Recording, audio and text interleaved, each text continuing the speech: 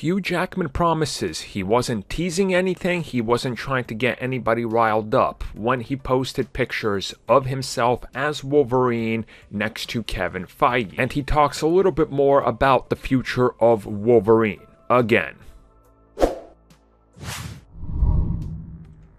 It really wasn't too long ago that Hugh Jackman, quote unquote, broke the internet when he took to Instagram and posted photos of himself along with Kevin Feige, who, of course, is the president of Marvel Studios. Then this was, of course, followed by him sharing a brand new piece of fan art that showed Wolverine teasing a MCU appearance. So, of course, the internet did what the internet does everybody starts speculating. Insiders and scoopers go, Remember what we told you 17 years ago? Remember that scoop we delivered? Let me go dig through my Twitter.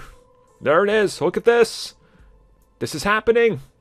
He's back. Before somebody corrects me in the comments, 17 years is a reference to how long Hugh Jackman has been Wolverine and not actually how long they've been scooping that he's going to be in the MCU. So Jackman recently spoke with Comic Book and he said, Look, it wasn't my intention to, you know, rile everybody up, stir the pot get the fans speculating, get all the reports out there, and essentially break the internet in regards to him being Wolverine in the MCU.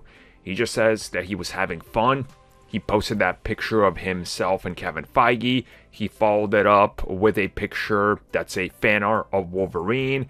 And then things started to just sort of snowball out of control, which, yeah, you know, it's the internet. That's exactly what happens. People, well, you know, the internet takes things and sometimes it goes, well, it always gets overblown out of proportion. But this case, Wolverine coming back, something that people want, so it got blown out of proportion way more than anything else tended to that day.